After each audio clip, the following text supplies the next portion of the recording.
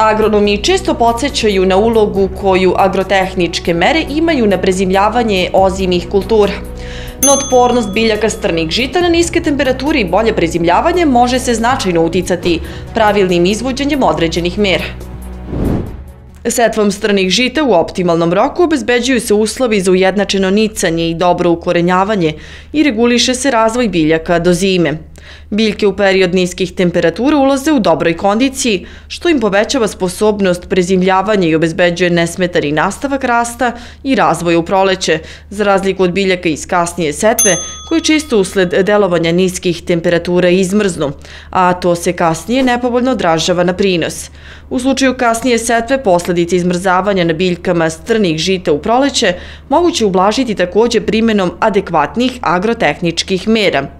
Značajni efekti se mogu ostvariti valjanjem useva, pri čemu se ponovo uspostavlja kontakt korena sa zemljištem, prethodno prekinut usled e, golom razice. Izbalansirana i adekvatna ishrana biljaka strnih žita je vrlo bitna sa aspekta povećanja otpornosti na niske temperature i mraz.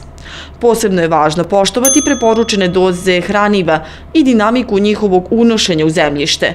To se pre svega odnosi na osnovne makroelemente, azot, fosfor i kalijum.